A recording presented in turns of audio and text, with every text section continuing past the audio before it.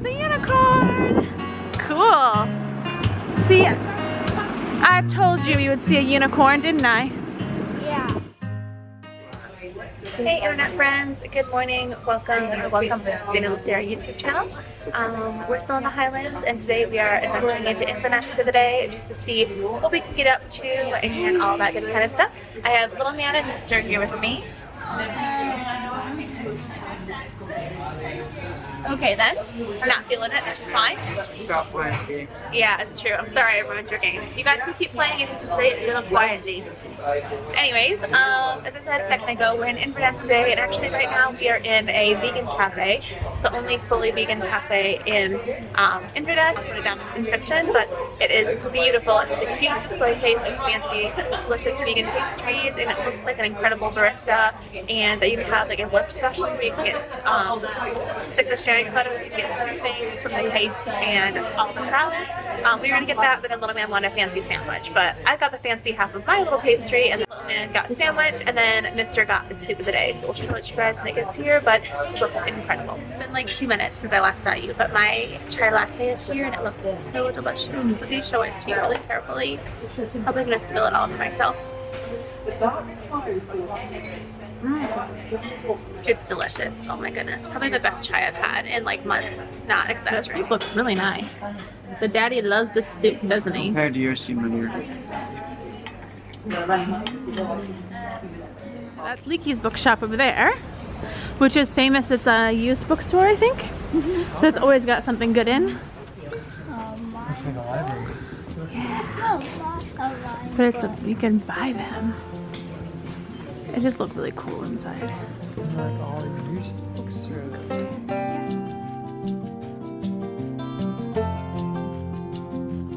guys, um, so I don't want to talk too loudly because as you guys can see I'm in a bookshop. I'm actually inside of Leakey's bookshop which is an iconic place here in Inverness and I was in the cookery section and I found a literal time capsule. Do you guys know who this is? It's like Jamie Oliver, like young. I almost didn't recognize him, but of course it's not a vegan cookbook, but I was just like, wow, the things you can find in old bookshops, which is why I love them so much. I haven't really featured them a lot on the channel, but I do spend a lot of time in used bookstores because you never know what you're gonna find. Like you might even find the Naked Chef when he was a youngin. Oh, he was reading um, children's books about um, Jesus Christ. Yeah, he's got the Good Samaritan.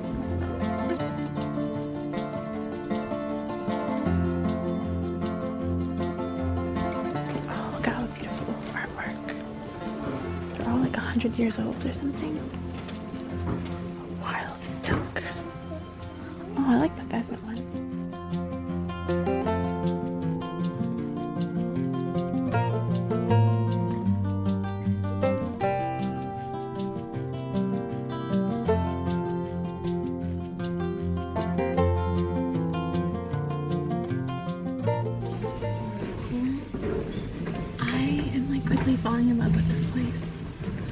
Just so much unique stuff here. Like, I know you have been to Aberdeen, but look how cool this picture of the cathedral is.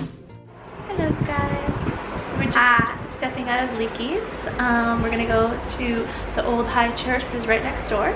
Uh, I don't know a lot about it, except I do know it read in our travel guide that the last of the Jacobites were incarcerated and executed there. And so if you look around in the graveyard, you can sometimes find bullet holes in some of the stones. So I think that'd be a fun little adventure for little man and just good for all of us to spend a little bit more time in the sunshine because the sun just came out again.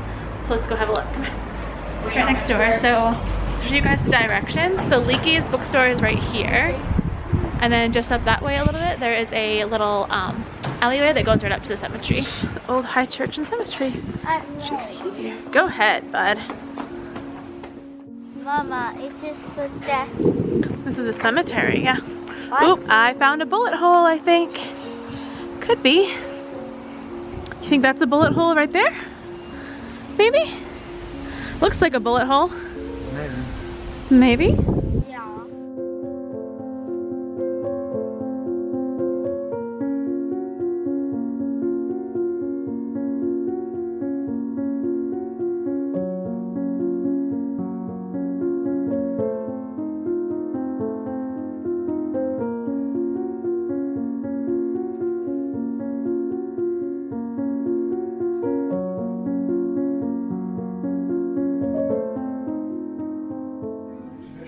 Hey guys, so as you guys can see I'm in a gift shop right now and I'm actually currently in the um, Tartan Factory gift shop right now. Um, Tartan Factory is where they make like the traditional Scottish um, kilts and like fabrics for all the traditional dress and everything. Um, for obvious reasons, we're not going in because um, we don't like to support things that require wool. So um, I'm trying not to buy anything like that. But if there's something synthetic, maybe I'll find something in the gift shop. But um, I asked little man a few minutes ago if he thought this was for a girl or for a boy, and it was really cute. So I'm gonna show that to you. Would you say this outfit is for a boy, or do you think this outfit is for a girl? Outfit for girl, No, it's not. but boy. It's for a boy, yeah. Anyways, um, we're just having a little look around here just to kind of see everything. I felt like going to the gift shop to have a look, kind of, you know, like touch and see, you know, what it's like. Um, would be like a medium between the two. So, yeah. And of course, as usual, now that he's done looking at the kilt, the little man's looking for books, and Mr. is supervising. I also learned something that apparently it is acceptable in Scotland to, as long as you're wearing traditional dress, you can carry a knife in your sock. Which interesting. I thought they had to be less than five centimeters. Apparently not in Scotland, so that was very interesting. Um, let's see, what else we seen in here? We saw a bunch of different clan stuff. So we have a family member who's actually part of the Graham clan, so we've been looking up little items, to see if we can find anything for him. And we realized he probably has everything. So just having a browse, and then we'll see what we get up to after that. I guess it's the original fanny pack. Don't know. What would you call it? It's definitely the kind of thing that my dad used to wear when I was little. He used to wear a lot of like You knitted sweaters.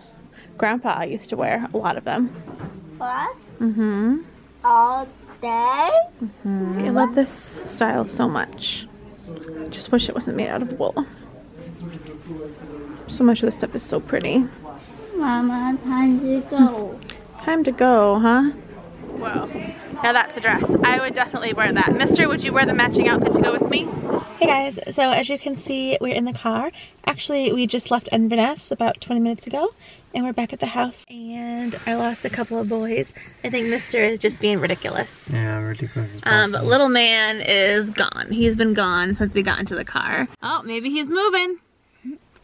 He might be awake now. But anyways, uh, we had a pretty good day in Inverness. Um, just walked around a lot as you guys saw, did some shopping, just kind of enjoyed sort of our last day in the city. We are going to be here for two more nights. Well, sorry, tonight and tomorrow night. So I guess that's two, two more days, whatever. We'll be here tomorrow, which is Rosh Hashanah, and then we're leaving to go back, unfortunately, to Yorkshire. But yeah, pretty fun day. Mister, did you have fun? Yeah, it was good. Yeah. Uh, wish the castle wasn't full of scaffolding, but I know, I know. I wish it was open too. That was really sad. I really wanted to see Inverness Castle, but it's a cool castle looking from the outside. yeah, it does look really cool.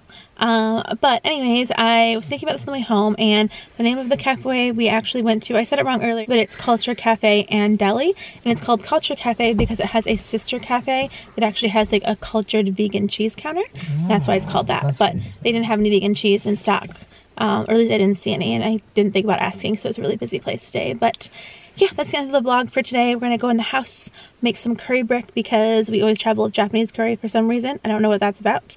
Enjoy the sunset, and I'll see you guys in the next video. Thank you guys for watching. Bye. Bye.